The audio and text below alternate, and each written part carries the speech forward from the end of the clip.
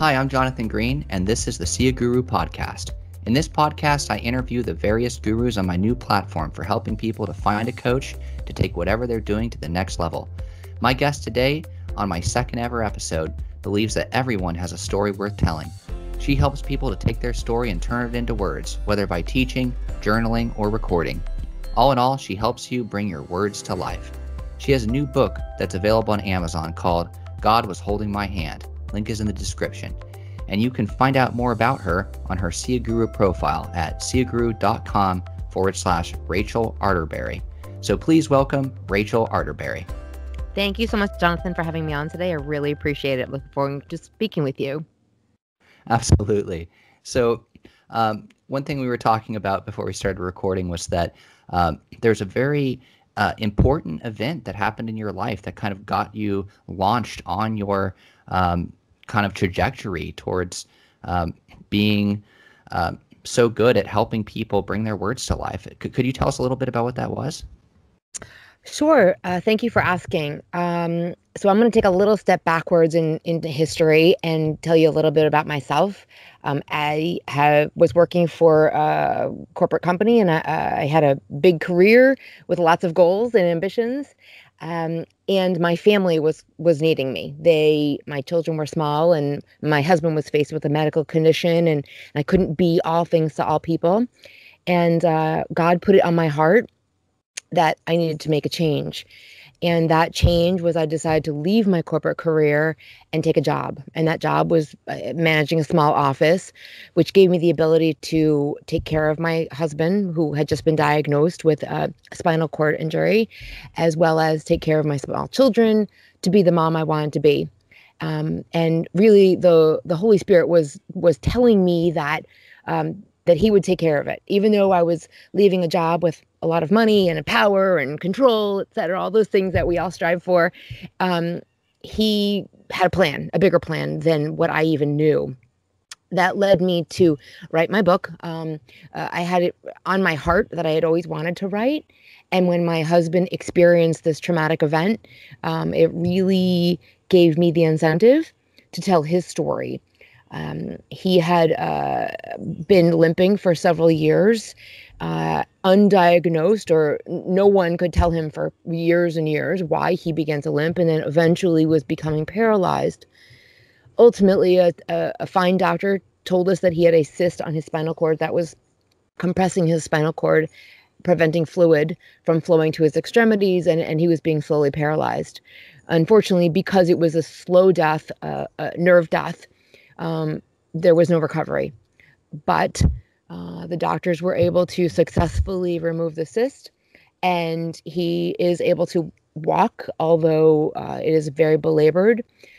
But the whole point of the story is that God was holding his hand. He knew throughout his entire journey, as terrified as he was to go under the knife and and to face the risk of a surgeon, you know, doing something or making a mistake, Mm-hmm. Um, he knew that God was there with him, and which prompted uh, the title, God Was Holding My Hand, because he knew that when he woke up from surgery without a shadow of a doubt, that God was there in the chair holding his hand next to him.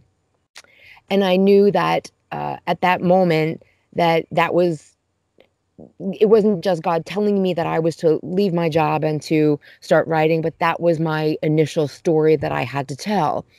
And that has now since kicked off my career in helping other people to tell their story. Um, because I truly believe that everybody has a story uh, to tell, and it's in their own words, and it's how they feel inspired to tell it.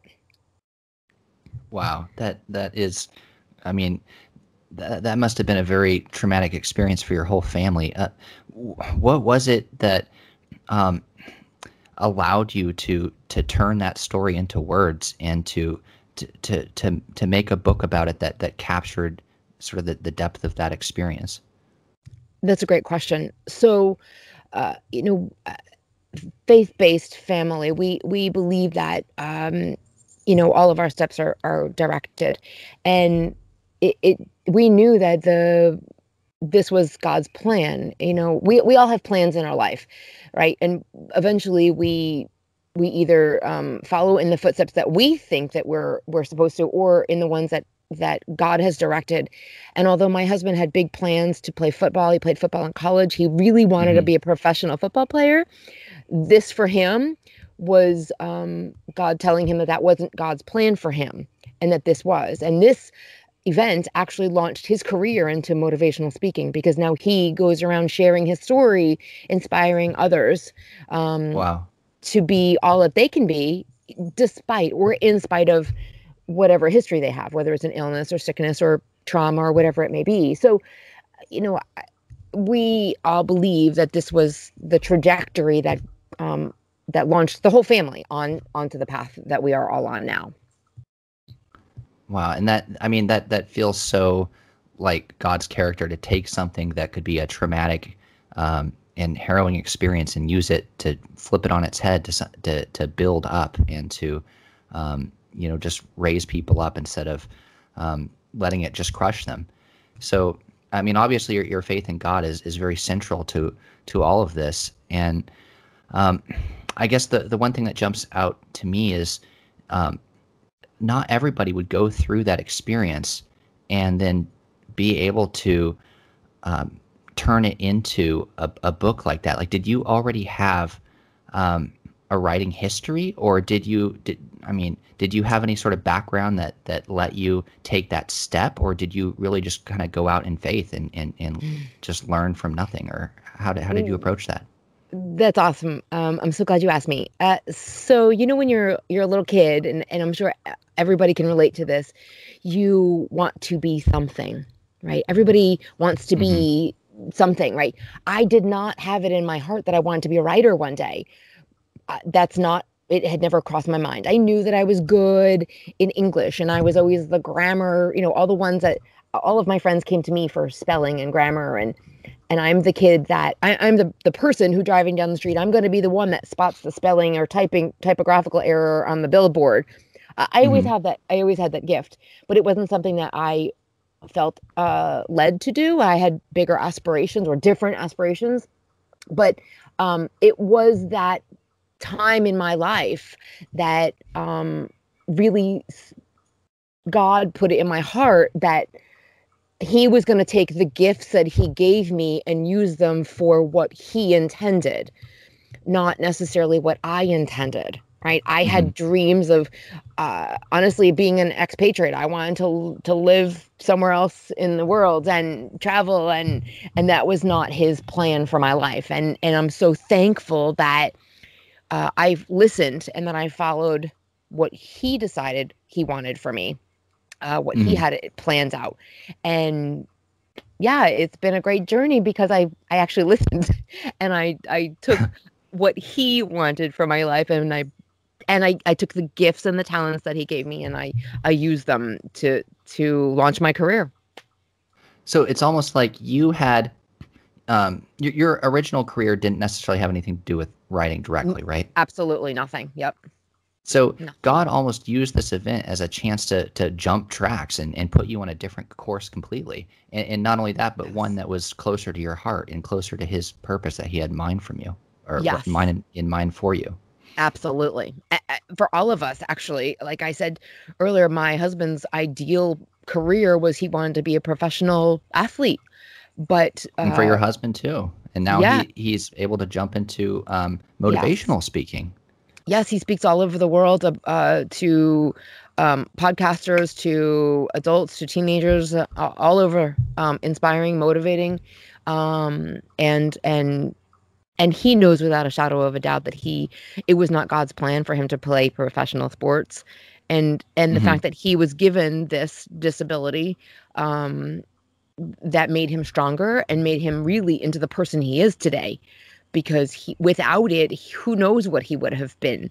You know there's so many athletes out there that unfortunately they don't know how to manage their money or they go down the wrong, wrong path. And he knows that his personality he may have been one of those people but god mm-hmm. said nope i have bigger plans for you and uh, it may not be getting paid, you know, millions and millions of dollars, uh, or playing on the football field, but I have plans for you, as he Absolutely. does with all of us, right? So, yeah, the the unfortunate as unfortunate as the incident was and, and the long years that he has spent um, with his disability, um, we know it was God's plan. It was His intention for for him to uh, uh, you know experience this, and for for my family, and and honestly, it's good for my children too because they they help their father, they help around the house, they do what they have to do, knowing and having more empathy.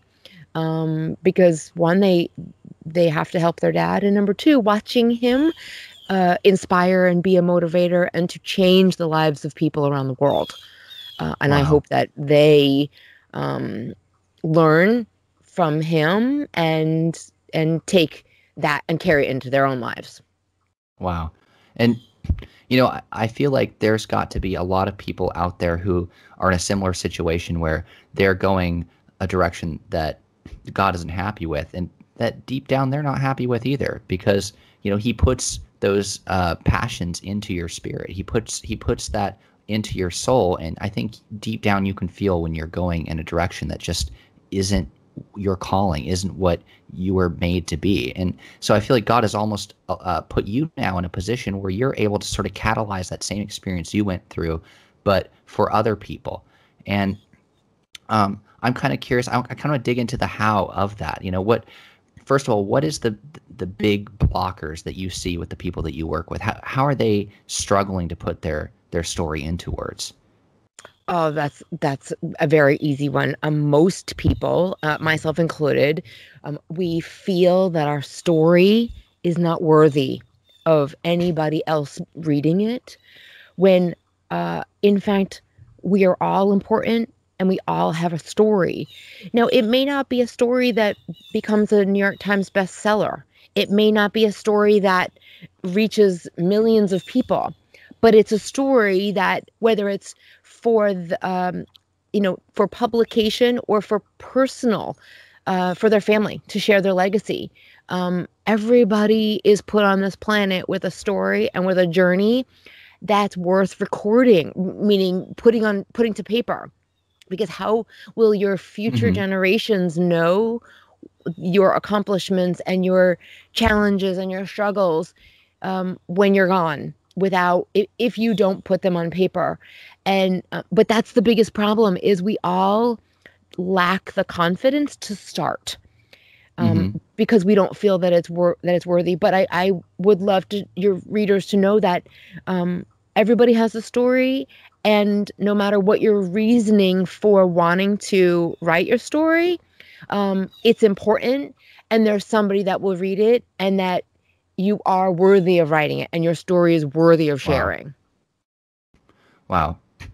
Um, I mean, what, well, how do you, how do you go about, um, making that, that jump into saying, okay, I've got the story, you know, you've convinced me it is, it is worthy to, to be written, but how, how, how do you do the how side of it? I mean, do, do you, uh, tell your story? Do you try and do it like a plot, like okay, I started as a little boy, and then and this is my early childhood, and then this is their. I mean, or do you take? Do you start at like a certain event, or just? I mean, how how do you even get going with a, a task like that?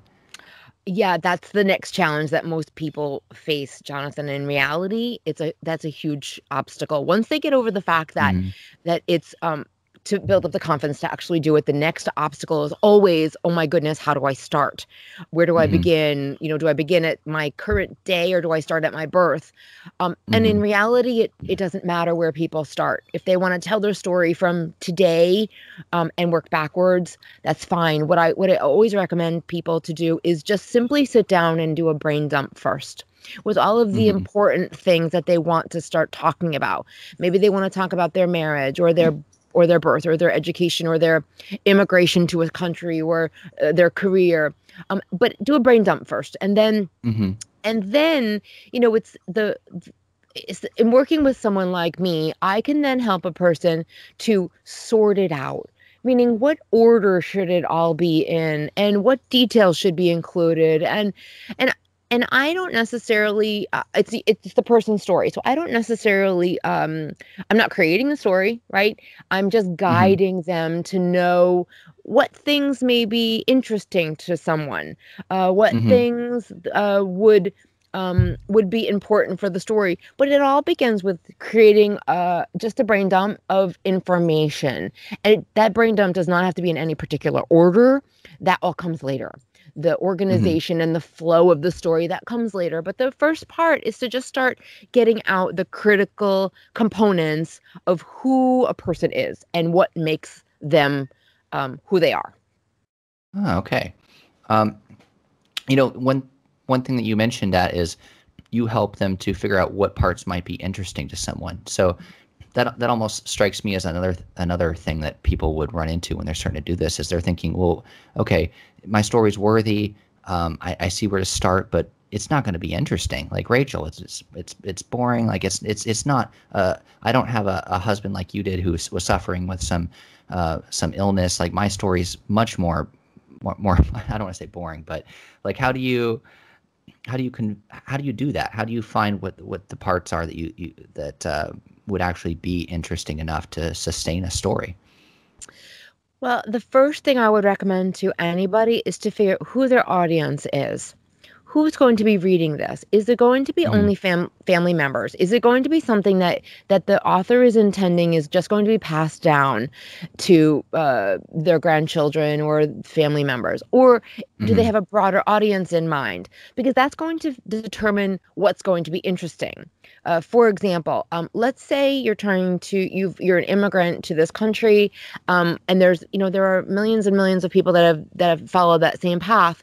But what is interesting about uh, your story is that um, you were living in uh, India when the war happened, and it was uh, split to to Bengali when it became Bengali. But for example, I'm just saying mm-hmm. that's interesting to somebody who may not have known that.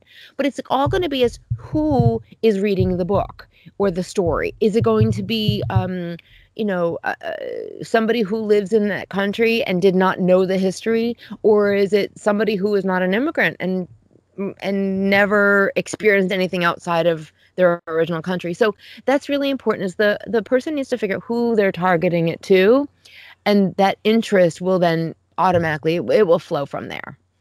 Hmm. Um Wow. So do you when you're working with your clients, do you tend to find that most people are writing this to kind of document their lives for their children or are do you are more of your clients looking to um, kind of reach a broader audience, or what, what do you find is more more common? Actually, I have a very nice mix of both. Um, and some people who are writing it for their families realize halfway through the project that they have a message. And that's important as well as what is the message? Is it that you've struggled um, in your lifetime and you want to pass on to somebody about your mistakes, or maybe it's the things that you did in business? But um, what is your message? Um, because you know everybody can write a chronological detail of their life. I was born on mm-hmm. th- such and such day, and and uh, you know the, uh, this is what happened. Um, but what is the message that you want to share? Um, is it that you struggled and you overcame? Is it, so that I think that's important too. Aside from the audience, is what is the message, and that will determine, um, you know, whether it's for for broader publication or just for the family. In in in your uh, book, God was holding my hand. The the message is, I, I assume, for, at least from what we've talked about, that the, the, message is that God has you. You know, you can feel safe yes. in in His protection. Yes, absolutely. And this was a clear example that um, as much as he and I worried, and as much as we uh, were terrified, honestly, about what the future would hold, God was there, and God had a plan, and we had to trust His plan. And that's the message: is that we have to let go and let God. to let go and let God um, bring about His work in you. That that's. Yes. So, when you released this book, I'm I'm just curious. Did it? Um, when did you? Get the feeling that um, I guess that that the message had, had gotten across. Like when people started reading it, did did they just kind of be like, "Wow, you know this this is so true in my life," or "This is you know this is something that just really touched me," or Uh, can you just kind of talk a little bit about that? Yeah. Um, so the title, for one, captures people's attention uh, because they they want they're curious. You know what what what does that mean? God, you know, they think God can't really hold my hands um, because there's mm-hmm. faith involved there. So we get a lot of comments about the title in that um, you know that that alone is intriguing to people you know what does that mean um, and then once they read it and it's a very quick read it's it's a succinct story um, but it's powerful and and ultimately uh, readers will say that they had a revelation or maybe that they had an experience with god also but they didn't realize it was god that something happened in their life where they were led wow. to do something or led away from danger or you know, uh, directed in their life, but they didn't yet know what that was that caused them to do it. You know, like I, before I wrote this book, I knew without a shadow of a doubt that the Holy Spirit spoke to me and told me exactly how to handle this. He told me exactly how I needed to go into my human resources department at my big international company and tell them that although it sounded crazy to me, it was illogical that they needed to terminate my position and let me go. Mm-hmm. Now, who who in the right mind says that? Yeah. Who said exactly. who says that? But I did. And I didn't know why I did it. I didn't know the ultimate result. I didn't know how or what or I I just had to trust God, but the the ultimately when the when we published the book it was all became clear that he was holding my hand too because he had to impart in me the faith that when I walked into this HR office, that they weren't going to laugh my laugh me out of the office, which they did. They laughed me away first, oh. and it and it took them months first at first to realize that I was serious, and that whether they let me go, I was ultimately leaving because I had bigger plans. Where well, God had bigger plans for me, um, but. I couldn't ex- I couldn't explain it. I couldn't explain that. So uh, because but who's because who's going to believe that? Who's going to believe that God said, right? Um, it's yeah. it is difficult for many people to believe that. But in both of our cases, in my case, I believe the Holy Spirit told me that this was supposed to be. This is what I was supposed to do. And in mm-hmm. my husband's case, he knew that God was there holding his hand. Um, and and it's an eye opener, I think, for many people who may be um, uh, like I said, may may have had a, a, an experience but didn't know what it was, or they did something that was illogical or irrational that their brain was telling them was not right, but yet they mm-hmm. figured that they had to do it anyway, because that's what it was. God was telling them to do it. Wow.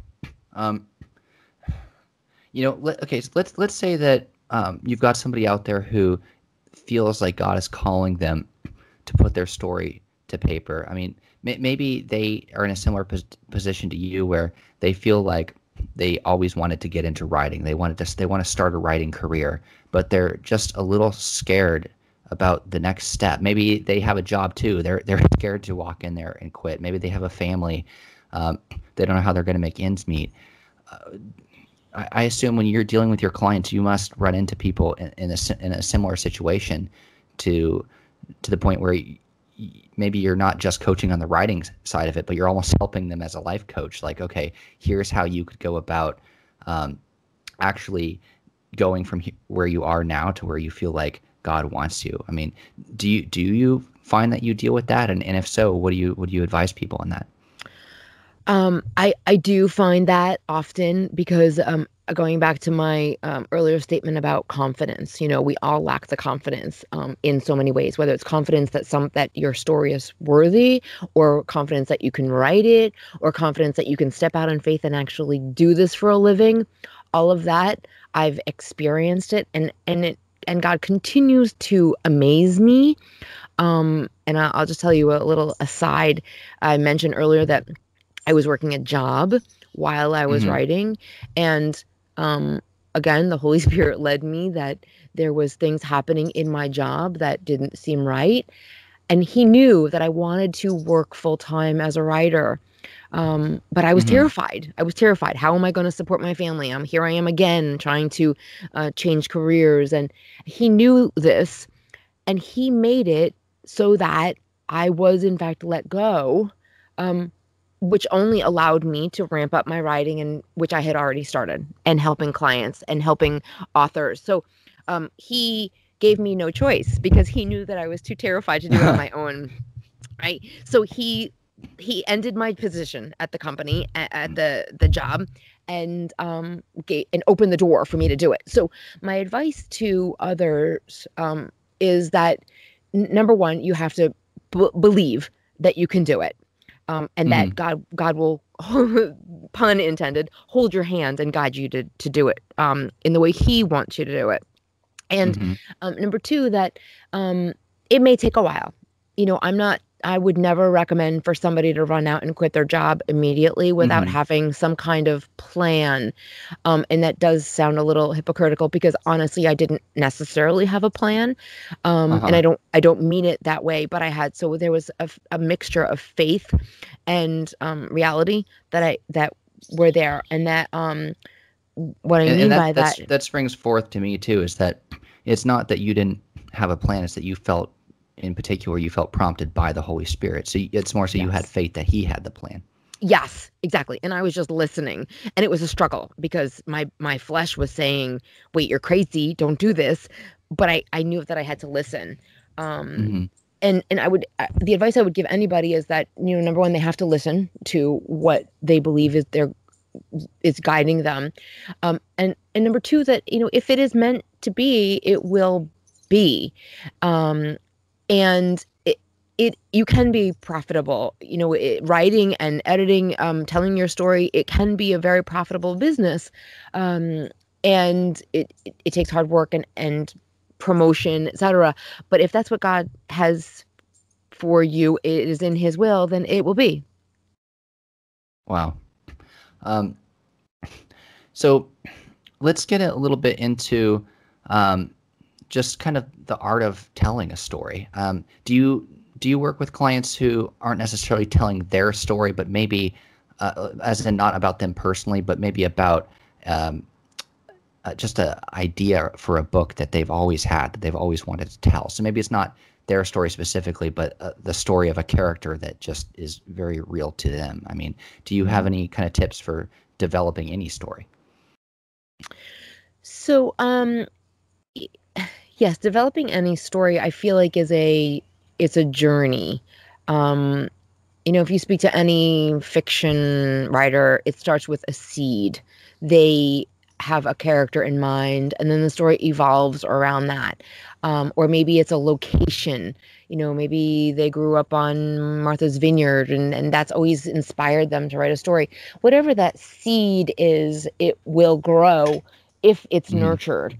And um, the the thing that i would recommend is that they take time to nurture it and to um, water it and and in, inspire themselves. Like a lot of times that what that means is um, spending time in that location or with the person or um, just uh, you know maybe they're inspired this character that they're thinking about is inspired by a person a real person that they know.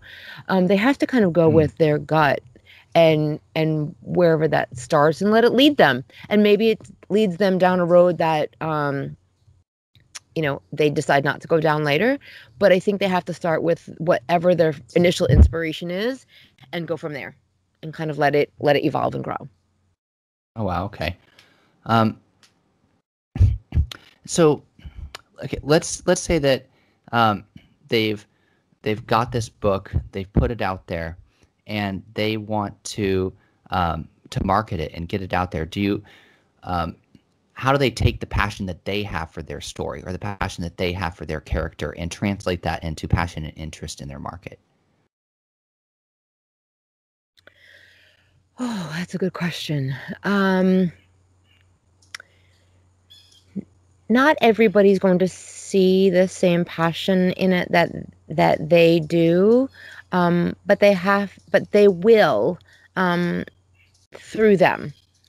You know even though uh, we've had a lot of non-believers uh put the book down our god was holding my hand there's also many who were non-believers that through our passion about the story, decided to pick it up. And whether they became mm-hmm. believers mm-hmm. or not, um, at least maybe they got to thinking about it. So y- their passion for sharing the story will come through um, and inspire others.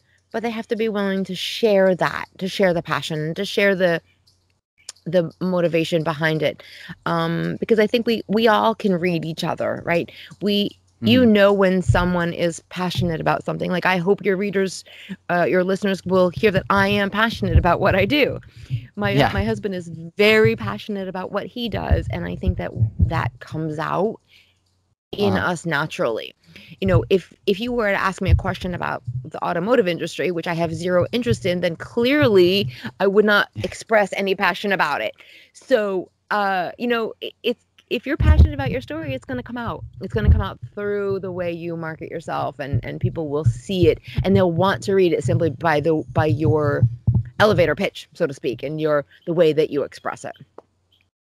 Wow yeah. I, I agree that um, if you have a lot of passion for something, I feel like it does it does tend to to rub off and get others passionate for it as well. Um, actually, I I just had a a, podcast uh, episode one with uh, Bonnie Jean a- um, Alford. Um, you guys should, if you're listening, check that out. That's a great one as well. Uh, basically, she talks about kind of drilling down to your identity and kind of finding out what what is the diamond in the rough so that you can tell your story um, more clearly that way too. And I feel like, um, do you do you kind of do you experience that as well, where somebody's story maybe has too much, and you kind of need to chisel away at it to get to what it is at its core? Absolutely, absolutely, it happens all the time, um, where people want to share every last detail um, and sometimes it's too much right so some there's a lot mm-hmm. of cases where we have no choice but to whittle it down because you know as much as we would all like to publish a 300 or 400 per page book sometimes the audience can't handle that much material so we also have mm-hmm. to think about who's reading the story and and we have to whittle that down a little bit as well how, how would you go about whittling it down like how, how do you bring out the the, the core story um, part of what um, you do, you said, is you, you bring the words to life. And part of that, I think, is is finding the words that uh, need to be heard and making them stand out. So, how, how do you go about that? So uh, that's kind of a, a, a dual process, you know, making the author really think about um, uh, does the this specific content or detail add anything to the to the essence of the story or the message.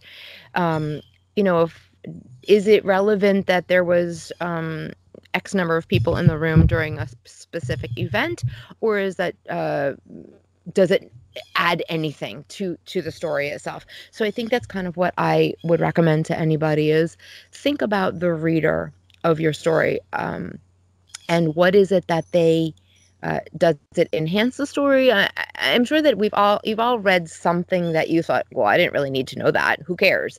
You know, it, it is it relevant? That's really the question you want to ask sure. yourself: is it, is it relevant to the story and to enhancing it, making it better, um, or is it just idle words to to get to a word count? Sure. Um, do you have any um, advice for people who um, are still struggling trying to tell their story like what's um, what's some tips like if you're blocked doing it what what would be some advice you would have for for trying to get past that oh the first thing i always recommend is to step away um, you know i find myself if i'm working hour after hour um, looking at the same document or working on the same material uh, my brain doesn't function anymore but i'll step away you know have a cup of coffee, uh, mm-hmm. uh, take your dog for a walk, and I come back to it and I find that the inspiration is there, or I've got a new um, uh, something happens, and all of a sudden I'm re-energized to get over that hurdle or that or that block. So I always recommend just step away. Mm-hmm. And when you step away, it kind of yeah, it gives you a time to think about what matters most about the story. W- would you recommend as another way to help with that having somebody read your story, or, um, I mean, or having like um, do you find that that helps you mean during the process it, it Yeah. does it does help because um i made the mistake of not having somebody read my story uh my original story and i regretted it later because there was the person uh, when a friend of mine read it later on she asked me so many questions that had i thought about it or had somebody read it before i, I said oh yes i should put that in there or or oh my gosh i forgot about this so ha- having somebody read the story um, at certain points is very valuable um, it may also tell you not only what did you forget or or may want to include but also uh, things that may be unclear to a reader or that the reader may have questions about so it's very important that you have somebody read the story along with you uh, you know at, at certain points Yeah, I mean, sometimes I feel like I would be almost embarrassed or maybe um, shy, or I don't. I, although that kind of you know tie it back to the beginning, that kind of comes back to I guess what you said at the beginning, which is having the confidence, feeling that your story is actually worthwhile. yes it, it it's you know it's um it's a difficult part of the process because of course there's confidence involved but bigger still you want to find somebody that's going to be honest with you you don't want just Mhm. somebody to say oh yeah good job you're writing a book you need somebody that's Yeah. going to give you honest feedback to say look this is good you're maybe on the right track but um, and i feel like you know when you're talking about uh, uh, being a guru that's something that i truly um, value and i know that i offer to my clients is that is honesty whether it's a friend or a family member that you ask to read your story um, it doesn't really matter. But you know one of the things that i do is i read uh, client stories and i i can give them that open honest feedback to say um, you know this is good but i think you should go in this direction or this is good uh, it needs work here or uh, what did you mean by this? Or you know a lot of times we have those thoughts in our head they don't actually come out of our mouths or they don't flow through our fingers as we type. Yeah, um, it's you know you as the author may have intended or thought that you shared the whole story but somebody else reading it says oh wait a second. Mm, i don't know what you're talking about right? So it's Yeah. important to to get that out and get that honest feedback. Yeah. Uh, I mean, one thing I think about is is you go and tell your your family, and they're just like, "Oh yeah, it's a great idea, great idea." So I almost have a question for you: how how do you get honest feedback out of them, or is it you know would you say if you're if you're having a lot of trouble with that, it would be good to seek for a mentor? Yes absolutely i think that's very valuable to get somebody that will on will give you honest feedback that is not related to you because we're not close to you because Mhm. you know they, they don't want to hurt your feelings. They they don't and and honestly if, if it's somebody that doesn't know you it's not that they don't want to hurt your feelings but you're more likely to get honest feedback versus your family who's who's proud of you for putting your words on paper and they want to see you accept to be successful. But they may not necessarily know either um, what it is that would help you. You know they it's easier for some people just to say oh you're doing a great job than to say you're doing a great job but you should also add this right so it's uh, there's Yeah. definitely a fine line between having a mentor and having a family member read it Yeah, and there's value there's value to both of course Um, so let's talk about some actionable steps here. Um, step one, let's say that I want to uh, get my memoir, or, or not memoir, let- let's say I want to get my story out there. What should I do first? After I've already decided that um, it's worth telling, you know, what, and, and, you know, I've done, I've done my brain dump. What now? what now? Uh well there's a couple of avenues that i would recommend for for new authors. Um and the easiest one is to record yourself. Um hmm you know people one of the other blocks that people have or challenges is that they say oh i'm not a good writer or i don't type very fast or or i can't you know I can read my handwriting if i write it out you know i Mhm. always recommend to people to record themselves speaking because that's when we number one the truth comes out right we are it's much easier and faster to go from brain to mouth than Mhm. brain to hand so i always recommend to my clients to record themselves um, speaking, uh, it, which can be transcribed later into words on paper hmm and then edited. So you know, the first step once they decide to uh, take that leap of faith and to start the process, and then once they do their brain dump, is to literally just start speaking. And there's a million apps and tools out there now that can do that, um, and it's really a great way uh, to get the information out. And it it does help. I find people with the block. Um, when they mm. sit they're staring at that blank sheet on their computer and they go uh, where do i start just start talking start talking start talking. Wow. And do you um how far should they go? Should they go try to go all the way from beginning to end? No. No, I would recommend doing it this it's going to be a long process and a lot of the talking will be stuff that doesn't make any sense or is not relevant to the story.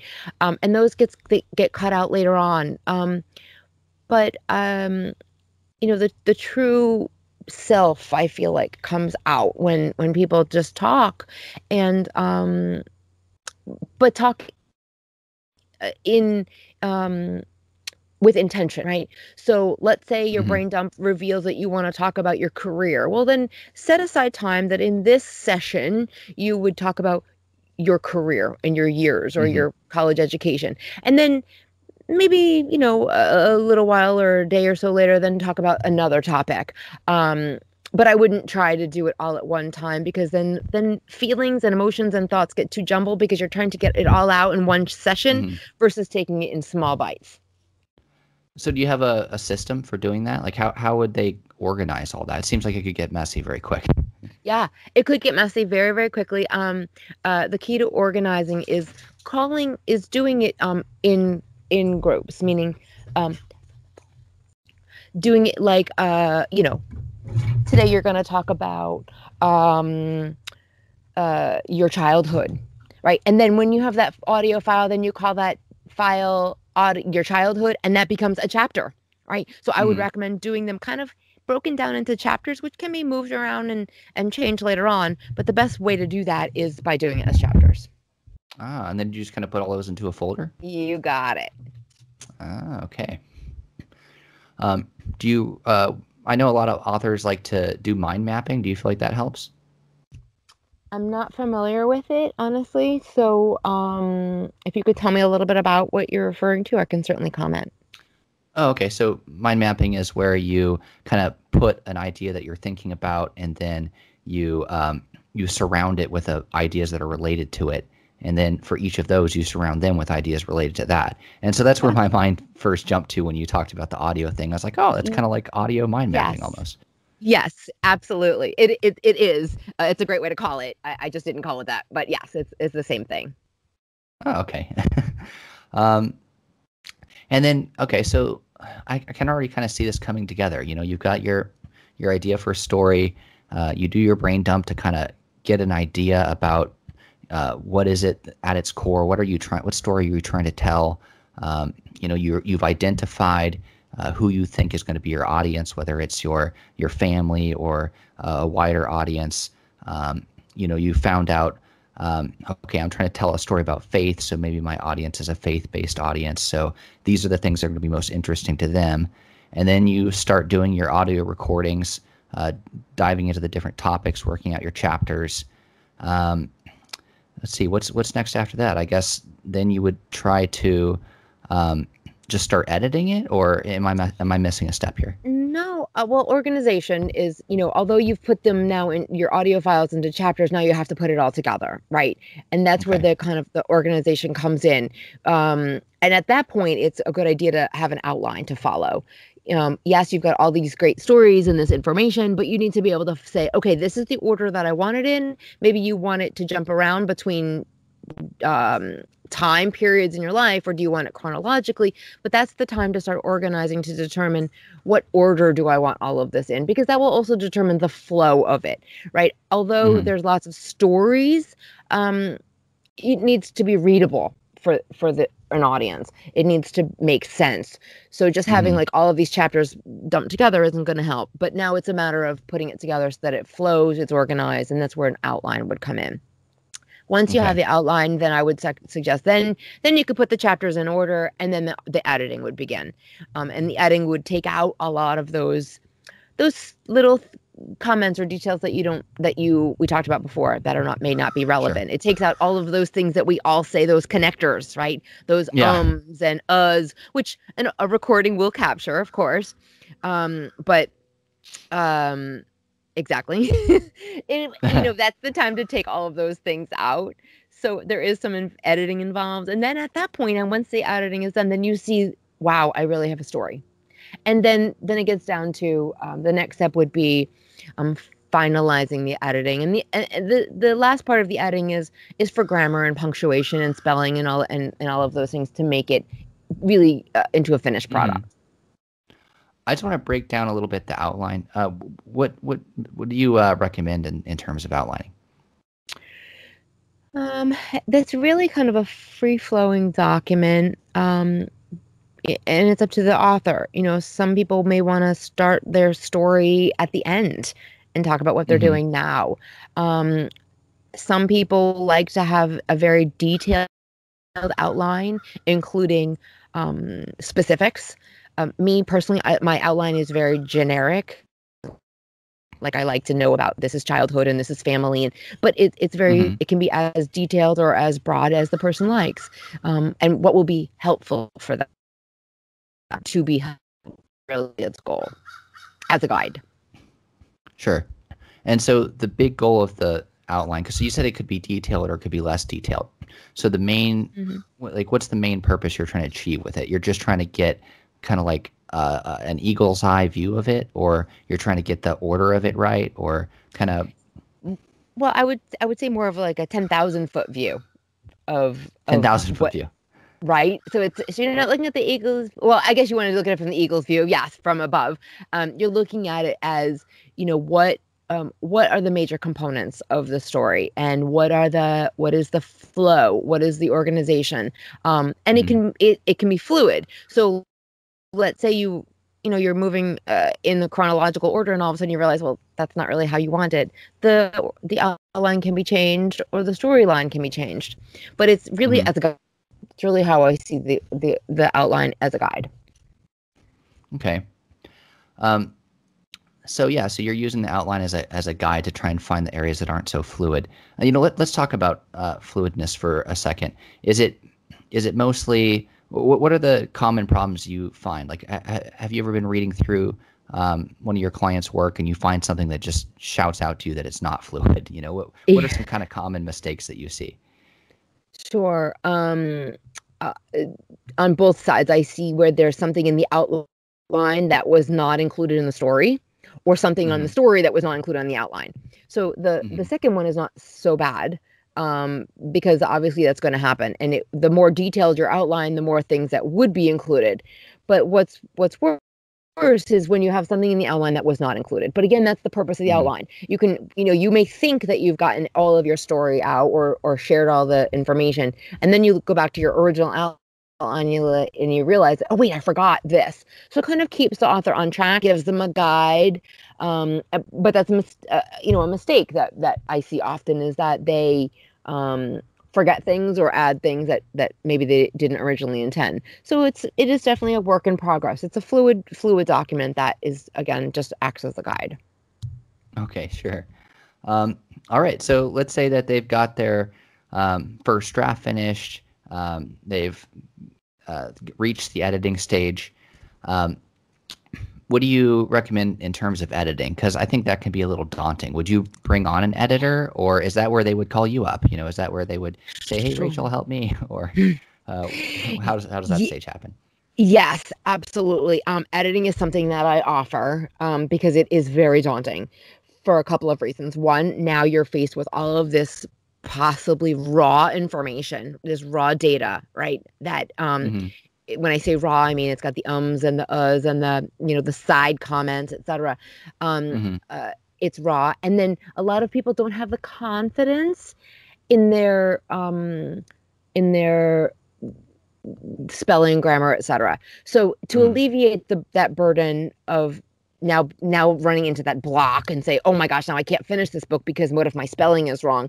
That's where an editor comes in, and an editor is the one that's going to actually check all that stuff to ensure mm-hmm. that you're not going to be publishing something that has that, that's riddled with spelling and grammar mistakes because the editor's going to catch that. They're going to catch it if you put two periods at the end of the sentence instead of just one. The editor's going to. I, I almost feel like that's a big uh, issue people would run into when yes. they start typing their first page. They're immediately going to start typing sentences and it, it flows well in their head. And then they're like, oh man, I, I don't even know how to approach the grammar. Yes. And all of that, I tell authors, don't even worry about that. All of that gets gets worked out in the wash, right? It all comes out in the end. Um, an editor will not allow you to finish a product or publish a product that um, has poor grammar right? There, it's so it's almost more important to just get started, you know. And is that why you recommend the audio files? Absolutely, absolutely. The audio files to me are the the key because it just helps somebody get over that.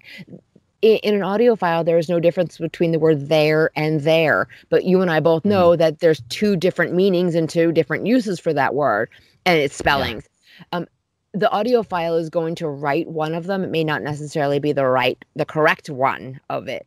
Um, but that's mm-hmm. where the editor comes in and says, okay, uh, in the content context of this sentence and what the person is talking about, which word is appropriate.